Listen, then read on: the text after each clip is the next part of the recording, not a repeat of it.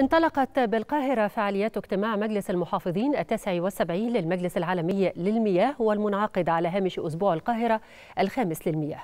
والمقرر انطلاق فعالياته غدا الأحد.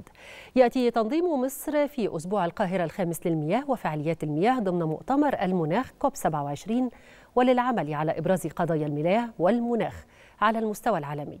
مع توجيه الدعوة للمجلس العالمي للمياه لدعم المبادرة الدولية للتكيف بقطاع المياه مع التغيرات المناخية.